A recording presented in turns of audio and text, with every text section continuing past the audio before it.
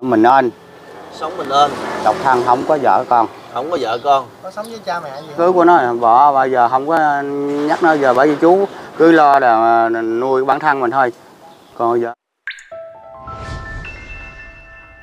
Bùi Hồ xin chào cô bác quý anh chị ạ. À. Trên tình cờ đi về lại thành phố Cần Thơ đó thì Bùi Hồ có bắt gặp được anh này nè cô bác quý anh chị. Thì gương mặt cũng khá là kỳ luôn. Và bây giờ để tìm hiểu về cuộc sống của anh á thì à, Bùi Hồ mời cô bác quý anh chị cùng à, theo anh ha. Đeo cái mic ha. Anh anh gì ta? dạ ngô còn hẳn Anh Hận hả? dạ hẳn anh năm nay nhiêu tuổi rồi anh hả? 48 Ôn tám à, ngồi ngồi Dạ. xuống đi anh Hận. 48 tuổi đó con này đi bằng thê không à Anh Hận là 48 tuổi. dạ. Hàng ngày thì à, anh Hận sống với ai? ở mình ơn Sống mình ơn, độc thân không có vợ con không có vợ con. có sống với cha mẹ gì không anh? không cha mẹ còn thì lâu lâu ờ, nghỉ tuần thì xuống cha mẹ chơi mẹ cha mất rồi còn mình ơn mẹ mẹ mẹ ruột ha Ba Dạ. mẹ có mấy người con? bốn người anh em mà có chỉ là gánh gánh cho ba ba anh em kia đó bị cái này bẩm sinh mẹ Anh bị bẩm sinh mẹ hay bác sĩ nó anh bị gì? giờ bẩm sinh mẹ Hồi lúc ờ, sanh mà sanh ra là bà bẩm sinh vậy rồi đó Ờ. Rồi Tự- anh rồi anh à, thấy anh đi ngoài đường nè là, là anh đi đâu? Xuống mẹ. Xuống thăm mẹ hả? xuống thăm mẹ qua đây xuống nhật đi xã hơi nè. Cách bao nhiêu cây? còn hai cái số nữa đó. Tuốt ở dưới ờ, ngã tư ở dưới dưới, á. Ừ. anh không biết chạy xe hay sao mà em thấy? Dạ hồi nhỏ tới lớn à, là, là, là không biết chạy xe luôn. Bốn anh em kia dạ ba anh em kia chạy. Còn mình đi màn là anh em rước đưa rước không à mới màn ở dưới ờ, phơi đường lộ cao tốc với là mới có ba ba tầng à. Cũng như tháng mấy nay đó. Là hàng ngày công việc của anh là làm gì anh Hận? dạ thì phơi ờ, là lông dịch đó đó. Phơi lông dịch, dạ lông dịch lông heo đó đó. Ngày nhiêu? có 300 ngàn bạc đủ thi xèo mà nó quá trời cái đó nó thôi bây giờ mình không có cái việc mình mặn 300 ngàn? Dạ. Phơi lông dịch với lông gì? lông heo rồi đó Lông heo ta phơi, là phơi làm gì? cái đó mình không biết luôn cái chỉ mà chủ, chủ dựa đem về nắng này trải cả lộ đó mình phơi đó Ờ. mình làm ngày mấy tiếng anh từ rất xa xa 6 giờ tới 5 giờ chiều mình rồi ơi, cực quá trời nó nó hôi vũ lắm nó hôi chú không có tiền chú gắn vô cái cái đó kiếm tiền xài tiền điện tiền nước đó Anh năm nay là 40 mấy? bốn bốn tám tuổi 48 à. Anh xách cái bọc gì đó? mẹ cho quần áo nè Quần- mở em coi được không? giờ được được quần áo mặc đi mà không có Mẹ gì ruột anh chó hả? mẹ mẹ ruột mới nè Tại sao mà anh không sống với mẹ mình mà anh sống nhà ở trên này? dạ thì à, còn anh em đông quá thì thôi đi mình không có ấy được ừ. Cái ngón tay anh bị gì nữa Hận? bẩm sinh mẹ luôn rồi này cắt cắt lúa nè Ờ, ngón tay bên đây bị bẩm sinh mẹ chuyến rồi mà cũng có một ờ, một ờ, lô đất Vô- tay lô- lô đất. à. lô đất bay vậy mà chú cũng cũng không có tiền có bạc gì luôn đó có một Mẹ cho đâu? nè quần cũng quần áo mặc đi màn vậy đó À, mới trời ơi. mới chờ được cái áo nó mặc đi về nè ừ. cho nắng mẹ, Dạ. mẹ anh lớn tuổi chưa bà cũng nên sáu mấy rồi dạ Ừ, ngày làm được 300 ngàn Dạ. sinh sống luôn. sinh sống mình mình nên đó Ngày xưa giờ có vợ con gì không hay là có rồi bỏ? có á, rồi có có vợ có con rồi mà nó nó nó bỏ nó bỏ À, sao vợ con anh sao? thì nó thấy mà nó không có tiền đủ xi phà rồi nó lên thành phố nó mằng lao hoài rồi nó cũng có gia đình khác rồi thôi giờ hơi kệ đi. Lúc anh có vợ là anh bao nhiêu tuổi? Chú cũng quên luôn anh cũng quên luôn. Ừ, cũng lớn tuổi. Bây giờ anh làm anh làm cái phơ lông dịch đó, đó là anh làm mỗi ngày không hay là cái đây dạ mỗi ngày có chỉ là nghỉ cái tuần chủ nhật là mình xả hơi thôi. Như 6 ngày mình phơi được 6 ngày mình nghỉ được ờ, tới chủ nhật này. Mà nó hôi dữ lắm nó hôi mà nó sáng đi chiều về sáng đi chiều về với bạn đó rồi hùng đi xăng vô đi hùng với là một một ngày một cái gì là hai chục ngàn hai chục ngàn tiền xăng đó Em muốn chia sẻ là, là anh lúc đó là anh có vợ là năm bao nhiêu tuổi anh không nhớ hả? không không không không nhớ Anh với vợ anh có con không? có hai đứa con gái đó hai đứa con gái Hai đứa con gái. Dạ. Ờ, ở được bao nhiêu năm? cũng lâu à con nhỏ lớn mới gả đó con nhỏ lớn mới có 15 đó Nhỏ lớn nhiêu tuổi? 15 tuổi Mới gả. 15 tuổi nữa sao gả? anh biết đâu đâu đâu nó nó chia tay mình là mình cũng không có quan tâm tới nó trên thành phố cho nó Cái mối tình ngày xưa sao anh với vợ anh gặp nhau? cắt lúa chung nè cắt lúa ờ, ờ, tay nè rồi chờ gặp thì không ai làm mai mối luôn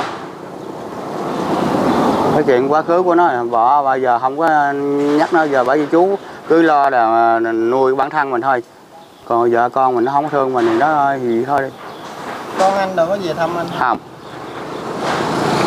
Lúc giờ anh đi là con anh lúc đó bao nhiêu tuổi? Cũng còn nhỏ. Còn nhỏ là bao nhiêu anh hận cũng bảy tám tuổi gì. Bảy tám tuổi hả? Bây giờ 15 tuổi rồi. 15 tuổi. Mà không về thăm anh. Thôi đi lúc vậy. đi vợ anh có nói gì không? Không. Thì cũng có cãi giả gì đó. Có cãi giả gì không? Cũng có cả xích mít thì nó mới giận nó, nó bỏ đi đó xích Mà thôi. gì? Hay là cô ta có người người tình mới gì không? Thì có chồng rồi có chồng rồi cũng đứa con gái khác rồi. Mà thôi rồi cái, cái chuyện của nó vợ con cũng quay rồi thôi giờ không không có nói chuyện vợ con nữa cho ai thấy mà mình thì thương mình vậy thôi chứ còn mình có vợ con mà không có nhắc tới. Ngày xưa có đám cưới không anh hận? Có. Có đám cưới luôn hả? Có đó. Đó là những mấy anh hẳn Ừ. hết rồi bởi bây giờ không có nói gì giờ vợ con nghỉ rồi để rồi buồn. Bây giờ bởi vì nói chung vợ con giờ bây giờ không có nó mà, mà nhắc. Nhắc khi mình buồn mình không có làm gì cũng công Ờ, anh có cái gương mặt như vậy thì ngày xưa mà lúc mà mới quen nhau á gương mặt của anh bị khiếm khuyết cái chỗ cái vành mũi nè. Thì à, lúc mà mới quen nhau thì vợ anh đều biết cái gương mặt giờ có sẵn rồi bị hồi đó là mình mà bị bẩm sinh mẹ mà. Dạ. Thì lúc đó ờ, anh có hỏi chị là tại sao chị thương anh không không? Thì... rồi cân thời gian rồi xong. Bây giờ ở anh với vợ anh cũng ở lâu năm mà đúng không? Lâu hai đứa rồi. Cũng sáu bảy bảy năm trời chứ bộ ít ở gì đâu. Anh có thể tháo cái nón ra được không anh ờ? dạ được bình thường. À, cái, cái, cái mũi anh bị bị tật như thế thì có ảnh hưởng gì tới trong cái bộ phận nào khác trên đầu không anh? Dạ không bình thường có thường bị viêm son rồi không? Dạ không. Ừ. bị bẩm sinh mẹ thì cho cho sức khỏe mình cũng ờ, ấy cho không mà gì hết. Có khi nào mà anh đi ra ngoài đường người ta kỳ thị anh người ta gọi với cái tên khác mà anh nghe anh buồn không anh Hận thì thì cũng có nhiều cái vậy cho mình cũng buồn đâu có như anh anh em khác đâu. Mà anh em cũng thương có bao giờ người ta gọi một cái tên nào nó nghe xúc phạm ví dụ như là người cười mũi két người két đâu không? Thì hơn chứ rồi, rồi cái đó là không không không không không, không nghe. Dạ. Cái chú nghe là chú của ma cũng làm dữ lắm mà này tại bọn tôi bẩm sinh mẹ chứ không phải mà không phải gì. À, là chú này là bình thường thôi là, là tại bẩm sinh mẹ ừ. mà điều sức khỏe thì nó bị thì lúc nào khuyết tật nó coi yếu hơn anh em nhưng mà mọi người đó. Dạ chứ bởi vì cái nghề lông dịch này thì nó hôi nó hôi thiệt mà miễn mình nghĩ, nghĩ ra mình không có mần thì không có tiền xài. Ngày xưa anh có được đi học không? Dạ không. Không được đi học luôn. Anh có đi từng đi xin việc làm ở công ty gì chưa? Dạ chưa không có làm được. Cái đó mình không có yêu yêu nghề. Cái chỉ nghề, nghề nhất là cái phụ hồ nè. Ừ. cái từng đầu là thấy phơi ba cái lông dịch thấy là thấy nó ờ, không không không không êm Ừ. mà thôi kệ mình cố gắng mình qua mình mang kiếm tiền mình xài. Ngày mai đã vào phơi mãi mãi mãi chỉ nghĩ được cái cái chủ nhật này nè. Một ngày 300 ngàn này chi phí đủ sinh sống một ngày không anh? Đủ. À cũng đủ cũng dư Dạ, tiền điện tiền nước nè với tiền mua đồ ăn à, với tiền sơ tiền xăng tiền cộ hùng với anh em đi đi đó. Em thấy anh nói chuyện có vẻ như là đôi mắt của anh muốn lưng tròng thì vì sao như vậy anh Thần hả? Đôi mắt của anh hình như là muốn khóc á bình thường. Tại đi mà nắng. Hả? chút quá trời nắng mà gắt dữ dằn. Lội bộ đi thăm mẹ. Dạ, xuống dưới là chờ chốt quay về đó. Ừ. rồi chiều xuống dưới nữa, nữa, nè. Có cho mẹ tiền không? Dạ cho cũng lâu lâu cho. Cho nhiêu? Thì cũng à, hai ba hai ba chục. Như vậy là năm chục trăm thì có cái này em hỏi thiệt có bao giờ mình nghĩ rằng là hồi lúc mình mình còn trai trẻ đó thì có bao giờ mình nghĩ rằng là mình sẽ làm thật nhiều tiền để mình đi thẩm mỹ lại cho sống mũi của mình nó đẹp hơn không? Dạ có mà mình thôi bây giờ lớn tuổi thì bây giờ không có đủ tiền thôi bây giờ mình không ấy nữa. Hồi Chơi- đó là cũng có mơ ước đúng không? Dạ. Bây giờ mình lớn tuổi giờ mình cũng không mơ ước chờ xanh sao để vậy đi. Dạ. yêu, yêu cầu có tiền xài la gai la gai được được rồi. Chứ bây giờ là vô trong đó là phải bạc triệu chứ đâu phải nói ấy theo mà có được, được mơ ước được gì mà có được 10 triệu là thấy đẹp đẹp liền. Ở cho hôm đó cho thành phố làm mà không có khả năng tiền.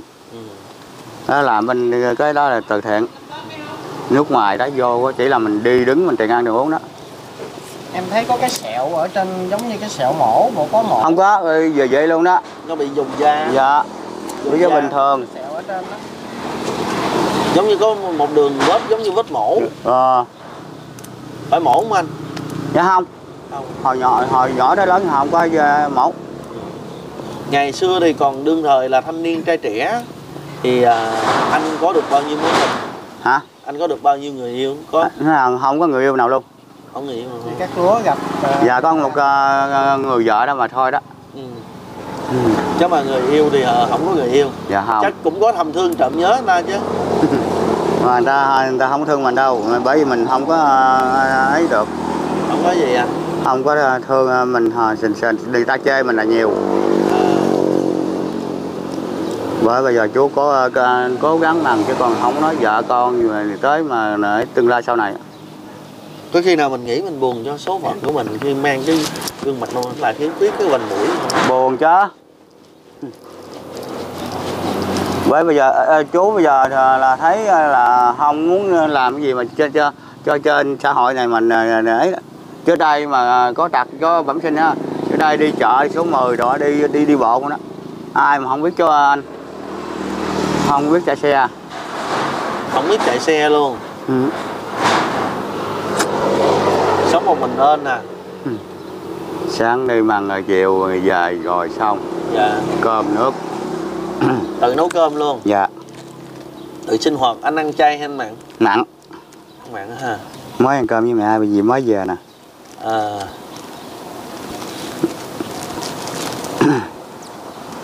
nội bộ nắng quá ông đi nắng xe quá ôm. nắng. Về đây 12 giờ mấy? Anh ông đi xe ôm. Dạ thôi cho tốn tiền. Dưới đây, đây xuống xuống mẹ mà đi chơi mà tiền ấy đi, không có đi, đi đâu dễ gì. Sao ông kêu anh mình đưa về? Em đi mới đi bằng thành phố hồi hồi sáng. Ở dưới là không còn ai hết. Không còn cái đứa đứa em dâu đứa em dâu đi bằng công ty ở ngoài, đó. Ừ. công ty cá đó. Nên ở nhà còn chỉ mẹ thôi nên Mẹ anh gột. là bộ thôi. Bộ. Dạ. Nhà anh ở hiện tại giờ là đất của anh. Dạ. Nhà anh ở hiện tại bây giờ là đất của anh hay là anh ở mua mua. Mua nhiêu? Cái nhà đằng này mua có trăm rưỡi triệu nè. Anh mua luôn hả? Dạ. À, mua lâu chưa? Lao rồi. Ờ, năm nay nó là 5 năm rồi. Lúc còn vợ anh? Chưa này à, mua riêng chứ coi giờ giờ là vợ bỏ rồi mới mua. Ồ vậy là cũng khá giả rồi. Cũng Là được. anh giỏi anh làm có tiền. Chứ mà, mà, mà lúc mà xuất thân đi mà mướn tới, tới bây giờ là mà biết bao nhiêu cái xương sống rồi nó ê ẩm cho này. Dù phải tích lũy đúng không? Dạ. Vậy là dư được cái nền nhà trăm rưỡi chục triệu. À, ăn nó hà điện hà tặng cho em lại nhà anh được không? Được đi. Đây đó xa không? Chút xíu ở đây nè tới gần đấy rồi. Ngoài đường chính đi luôn ha. Dạ dạ dạ ok anh đi. Ngoài đường này luôn á ngon á. À. bởi vậy? Đây nè đây là cái ngôi nhà của anh Thận nha mọi người. Ngôi nhà cũng khá là khang trang luôn. Nói chung là anh Thận chắc cũng làm à, tiết kiệm mới được có được cái ngôi nhà như thế này ha anh Thận ha. Nhà đẹp quá anh. Dạ. Ở có mình mà gọn gàng quá vậy. Rồi sạch. Hả? Sạch, sạch, sạch sẽ mới hai được ba cái tivi luôn cái đó là cũ hết trơn rồi đó. Ờ. bỏ là chưa có bán đó đó là còn nó có cũ vừa lắm cũ. Dạ. Cắt tới mét xong luôn hay sao? Giờ tới tới tới đây luôn nè mới mát. Ừ, cũng dài dữ ha. Giờ 10 thước. Mua mua mấy năm rồi anh? Giờ năm. Hả? Năm năm rồi. 5 năm rồi. Dạ. Bây giờ là chắc cũng còn dư vốn dữ ha. Rồi. Còn được ba bốn trăm triệu giờ không? Cái còn. Ừ. ghê vậy tiền thì còn có dư trăm mấy à? Hai hai hai trăm mấy à? Hai trăm mấy chục triệu. Dạ. Tiền mặt. Tiền, tiền ờ, mà mặt ra giờ ấy giờ, giờ gửi xài gì vậy thôi đó. Còn hai trăm triệu à? Hả? Còn được cái hai trăm triệu à? Anh bằng mướn mà sao dư dữ vậy? Chỉ mấy anh với coi. Cái đó thì mà cửa cha, cha mẹ đó. Chú đó đó, đó thiệt chân à, cha mẹ cho cho Dạ. á. Cha mẹ cho. Trời ơi bù bổ nhiều quá đó. Bây giờ ngôi nhà này chỉ còn thiếu vợ thôi chứ không còn thiếu nợ. Không dạ có thiếu nợ. Không thiếu nợ. Anh cũng ờ, còn tự chúc mừng cho anh ha. Dạ dạ. Anh bếp đồ đầy đủ hết nè gọn gàng nè. Nhưng mà nhà không có phụ nữ mà gọn gàng ghê á. Nhà nào đó anh mua một trăm rưỡi rồi anh cắt lên thêm nhiêu nữa. Dạ chưa có sổ gì hết. À mua người ta có nhà sẵn gì luôn à trăm rưỡi đó dạ dạ. Con gắn mối vậy? Em nói rồi ngồi đi ăn ngồi nhảy ngồi, ngồi đi anh thật về nhà mà không thấy vợ con ờ, ở nhà buồn dữ đó ha? nhỏ ra cái lớn đó.